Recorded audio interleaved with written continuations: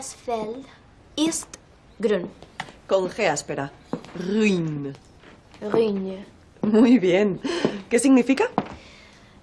Los campos son verdes. El campo, en singular. ¿Cómo sería la frase en plural? Eh, bueno, no me acuerdo, pero da igual, ¿no?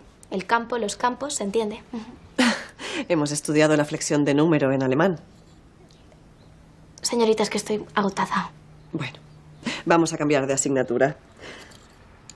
No sé si se ha dado cuenta, señorita Lisa, pero ha conjugado varias frases en alemán. Sí, no sabía que se me daba tan bien. Si se muestra capacidad de trabajo y disciplina, todo es posible. Muchas gracias, señorita. Bueno, vamos a pasar al arte. Es primordial que aprendamos a diferenciar los estilos.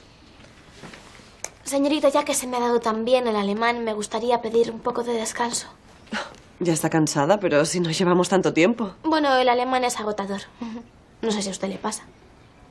Bueno, hoy se ha comportado correctamente. Es justo que yo tenga una atención con usted. Haremos un descanso de media hora. Mm, Vielen Dank.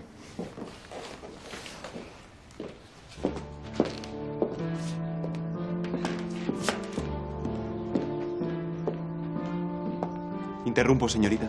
No, llega en el momento del descanso. Y por lo que veo la clase va bien.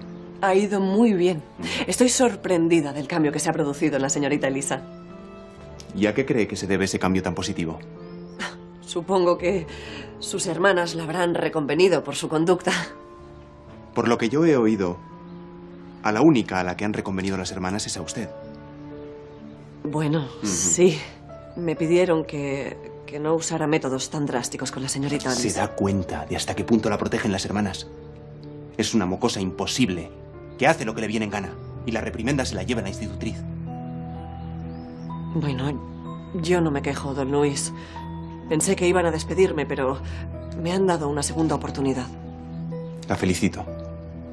Veo que está aprovechando esa segunda oportunidad. Aunque para mí el cambio que se ha producido en Elisa solo demuestra una cosa. Que la letra con sangre entra y que la mano dura a veces funciona.